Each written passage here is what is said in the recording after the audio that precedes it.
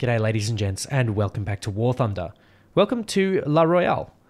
Today, we're going to have a look at the Netz, which is essentially an Israeli F 16. However, this F 16 doesn't get the AIM 7s or any of those sorts of luxuries. However, it does come with a little ace up its sleeves, and those aces are Python 3s, and it can carry up to six of them. These Python 3s can be particularly potent, and this plane has a really high potential in a supporting role. We'll talk about a little bit more of that later, but first, a word from today's video sponsor.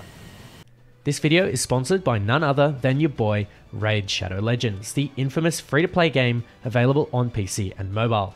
Raid Shadow Legends is a huge hit among mobile games, but it's also available on PC as well, so you can take it with you when you're touching grass. Raid's gameplay allows you to play at your own pace, play casually and enjoy the high quality graphics, or dive deep into it and compete with others in the PvP arena. Raid also has 700 unique champions to use and a lot of different strategies which will help you to complete the endless list of challenges the game has to offer. Bosses, dungeons, Doom Tower, and more. Raid is one of the few games that has managed to impress me on mobile. It's something I actually play. Here's my profile. I personally enjoy leveling up champions and forming teams that synergize well to defeat bosses such as the Demon Lord. The game also has great lore, which you can explore through Raid Call of the Arbiter. It is an awesome new limited lit series which tells you more about the characters and their backgrounds. Raid is adding some of these new characters from the series as champions that you can actually play in game, allowing you to go deeper into the lore of Raid. The first one is Artak, a mighty orc warlord. Artak is currently free for all players for a limited time reward for playing between now and July 24th. And if you've seen episode 1, Call of the Arbiter, you'll definitely want this guy. And if you haven't seen it yet, go and check it out and then remember to log in for 7 days to get Artak. So, what are you waiting for? Download Raid for free for PC and mobile by using the QR code on screen or the link in the description below and finish the tutorial. And then new players get a generous starter pack for free. This goes a long way to supporting the channel. Thank you to Raid Shadow Legends for supporting this channel and this video. Essentially what we're looking at here is an absolute ace support fighter. The F-16 has one of the most powerful engines in the game and comes with a really really strong power to weight ratio which gives it an opportunity to zoom around the battlefield and of course extremely importantly maintain plenty of energy in dogfighting. This allows it to increase its speed, or sorry, maintain its speed in these engagements, uh, and it allows them to stay in the fight for longer. Speaking of staying in the fight for longer, the range of this plane is pretty damn good as well. Even with full afterburner, it doesn't quite chug fuel just as much as the other jets around it, such as the Viggen, the MiG-29, and of course the infamous F-14. I find that I get better ranges with the F-16, and then in a pinch I can always glide a little bit better. This plane has very good energy handling. It I, I'm still working out really how to play this plane properly, um, but the dogfighting in this plane is really weird. Personally, I would steer, steer away from dogfighting. Um, that might just be skill issue. That might just be the way the plane plays. That might just be the matchmaking. But at the end of the day, I don't really see that sort of low-speed dogfighting as providing much of a benefit to the Netz and to the F-16 family in general. The way I see the F-16s is more of a sort of zoomy boy, where you're just going to be utilizing that speed and then only pulling out the dogfighting capabilities when you really have to. You can see that even in these turns, even with a full afterburner, I am bleeding a fair bit of speed, but this is nothing compared to some of the other fighters in this area. This does allow me, however, to get away, and, and this is exactly what I'm going to do here. There's an F4S, and the F4S is quite a slow boy, but the AIM-9G and the AIM-9H, of course, that the F4S carries, is also a slow boy. It doesn't quite have the range that it used to after that um, missile nerf. You can probably see the little puff of smoke there that represents that little, what's left of that AIM-9H. Now, I am going to go in here for what was originally the MiG-23, switching target to the F4S, uh, and the beauty of the pythons is they just they're, they're just better magics to me. To, in, my opinion, the way the way I see them is they're like magic twos if they were not uh, sort of really short on range, and of course they have that really strong capability of uh, focusing on a target from the rear aspect. Not necessarily the front aspect. This is always going to be a really sensitive point. So if you're expecting for a target to just hold like a radar missile, you're not really going to, you're sort of missing the point, rather, of what the Python 3 is. What you're meant to be doing with this plane is you're meant to be getting around your opponents, sneaking around the back of the of the lemming train, and then firing off the pythons as you go, getting multiple kills in a row and you're meant to sort of be looking at these really distracted enemies, uh, sort of that medium sort of off bore sight if you're at their um, in their peripheral vision. This is also a really good spot, uh, mostly because you're using sneaking tactics. Uh, you're not going to be in their in their front vision. You're not going to be what they're focusing on while they're launching a radar missile, and so you're able to get in there just off that uh, center center line so that you can really make use of the pythons. And, and it does work. It does work a lot. It works with r24s and, and r27s so uh, if it works with them it'll probably work with the python 3 and you know you might just see some gameplay in the background. Depends on what footage i pick. So we are going to be diving here onto enemies and you can just see the ability for this this uh, f-16 to really make it what it's worth. It's it's just doing its job really, really well in this particular situation. You come in from above and from behind, you sneak up on your opponents, and because you've got so much speed and so much engine power, you can just jet away most of the time. And this F-16 is going to basically learn the hard way. There's no way that the AIM-9Ls will be able to reach, and you'll be lucky for an AIM-7 to do the same. If I start to notch, if I start to fly at a right angle to his direction of travel, it's going to end up with a really poor lock for the AIM-7. Anyway, I'm going to sort of throw away my advantage here, go into a little bit of a dogfight, try my luck, but unfortunately you can still see that the sensitivity all aspect is very, very low or very, very high to uh, to flares, very high susceptibility. And so you don't have, you, you, like, this is something you shouldn't be relying on in the fr front aspect. Now, F16 versus F16, I've pretty much got it in the bag because I've let off the throttle a little bit early, and this should be pretty much all I need to secure a winning blow.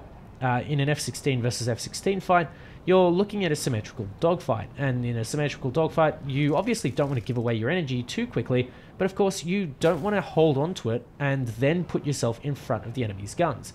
Now, Mirage 2000, and I just want you, want you to watch the flares. He's going to flare, but it's still going to track. And, and this is the beauty of the Python 3.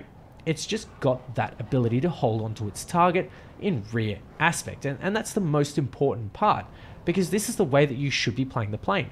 You shouldn't even be playing in the head-on, because this plane isn't really suited for the head-on. You've got no AIM-7s, and without the AIM-7, you shouldn't really be going into a head-on. That and the R-27 and the R-24.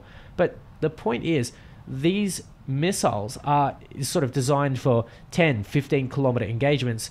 At least in War Thunder, they're most practical at the 10, 15 kilometer engagement range.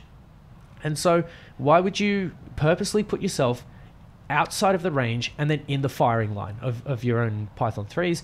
It's just nonsensical. So, the way I would suggest that you play these is without going that head-on aspect because you really will suffer. And it's one of the one of the flaws of this plane or one of the limitations rather uh, and that's not a, a, deal breaker by any means. This plane I've had a decent amount of fun in. Um, I think more so than the uh, F-16 ADV I don't really know why. I just really really like the Pythons. I like its ability to stick onto those targets in rear aspect. I like its ability to sneak up and it's you know, kind of what I was hoping for in the MiG-29, but of course, uh, you'll probably get that with R-73s. We can make a video on that in a later date, but there we go again, that sort of off-front aspect. I'm not quite sure what to call it because it's not quite side aspect, uh, but it's certainly close to frontal aspect, uh, and that's the kind of sort of shot that you want to be making at the most aggressive. You want to be going, again, like I said, for those targets that are not paying attention, and they're the targets that you can very easily kill with a Python 3. Especially, like I said, in the rear aspect if they start flaring. If they start flaring in the front aspect, you're pretty much gone. Now, you might be wondering what is going to go on here. I've got a couple of enemies that are down below, and like I said, these are my primary targets. I'm playing this plane the way that I believe it should be played. We're going to go Python 1, Python 2, and then uh, we're probably going to go for that third one, coming down into the other F-14, but it looks like the first one's sort of gone awry. Uh, that's okay. It's not a problem. We're just going to be launching. We're just we're just going to be launching friends. you get a Python, you get a Python, everybody gets a Python. And unfortunately for me, I don't think that F16 has uh, sort of taken his Python home with him. Uh, instead, he's going to leave it in the desert, but that's okay. We can always try and finishing him off with something else. But my team is now sort of getting finished off by the enemy team's missiles, and it's starting to look really, really hairy. And this is another limitation that I want to speak about with the Netz. This is your carry potential, and you don't really have much. And it's simply because you don't have that standoff distance. And of course, once you do start dogfighting, once you do start losing the speed, you really are going to pay the price quite heavily. And that's just the way that the F 16 works. That's just down to the nature of the airframe. The F 16 and the uh, Mirage here, they've both got radar guided missiles, and they're pretty much cleaning up my team. And there's not a whole lot that I can do. Uh, I've got 9Ls coming in towards me, which is fine. I can just flare those away. But now we're in a 2 versus 1 dogfight. I haven't got any missiles left because I wasted them all on the F 14s. Uh, and I am terrible at dogfighting in this plane. Now, part of that is definitely skill issue, but also we're in a 2v2. There's a J8B and the F16. Now, F16 v F16, it, it's kind of an even fight. I just need to make sure that we can, you know, kind of keep the numbers even. And we're kind of doing that at the moment. The F-16 is uh, in front of me. I'm going to shut the afterburner off, try and just keep sneaking in behind him. And hopefully the J-8B can do his magic and uh, kill the Mirage. And that would make it really nice and easy. Now, I'm not really sure what I've done here. Um, I've kind of landed in the front of the F-16's guns. Um, and I'm very confused as to what the hell I'm doing wrong because I, I still don't understand it. I still just am really, really struggling to make the most of the F-16's flight capability. Um, and the J-8B has decided to make the most of this opportunity and fuck off back to base, leaving me high and dry in a 2 versus 1. Um, there's not a lot I can do here. If I try and escape from the F-16, there's probably going to be a missile with my name on it. And uh, if I try and dogfight, the Mirage is going to sweep me off my feet. And there's just sort of uh, uh, really nothing that I can do.